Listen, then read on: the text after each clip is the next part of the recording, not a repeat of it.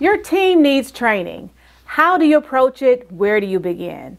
My name is Jennifer Mitchell Earley. I help individuals and teams achieve organizational and personal success. And this is Leadership Matters.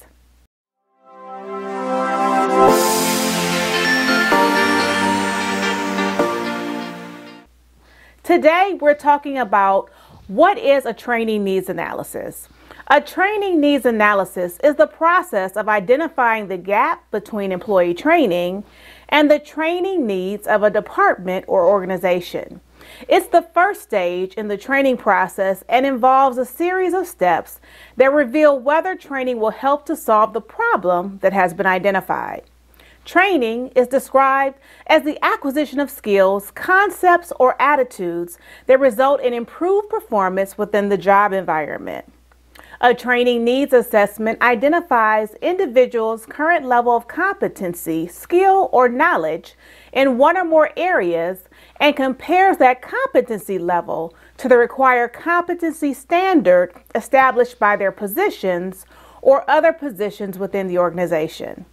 The difference between the current and required competencies helps to determine training needs. According to Kim Morrison, author of what training needs analysis is and how it can benefit your organization from elearning.com, there are benefits to organizations conducting training needs analysis. From ensuring you have selected the right training for your organization, to determining all the training that needs to be completed in a certain period, to allowing your team to complete their job as effectively as possible, as well as progress and grow. In the article, she notes three key steps involved in training needs analysis to ensure your business is making the most of the process.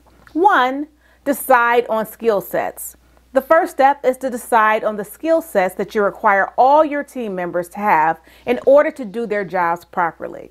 This means looking at every job role within your business separately and considering things like the different departments or levels of seniority, which will affect this as well. Two, evaluate the skills of your staff. The second step is to look at all your team members and evaluate their current skill levels in relation to the skills you have laid out in the first stage of this process. This will allow you to see who is meeting your expectations and who needs to complete further training in order to meet the expected skill level. And three, highlight the skills gap. Now that you know where you want your team to be and the level they are currently at, you'll easily be able to see the gap, if any, that has appeared between the two. Now that you know what the gap is, you need to use training to help close that gap and ensure your team is at the level you expect them to be.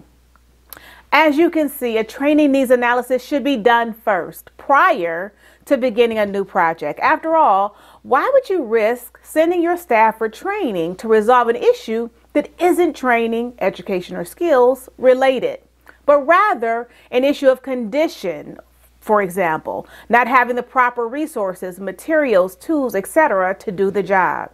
The needs analysis together with a learning and development professional enables management, you, to make informed decisions about the best ways to address competency gaps among individual employees, specific job categories, or groups and teams, as well as provides tangible benefits for, for an organization, such as the ability to identify knowledge gaps before they become a problem. Help in forecasting annual training, highlighting training opportunities not previously considered, ensuring your training is focused on the right areas, and most importantly, it helps you to prioritize training needs. Thanks for watching. If you found this video valuable, please give it a thumbs up by hitting the like button. And don't forget to subscribe and click the notification bell so that you'll be notified every time I upload new content. See you in my next video.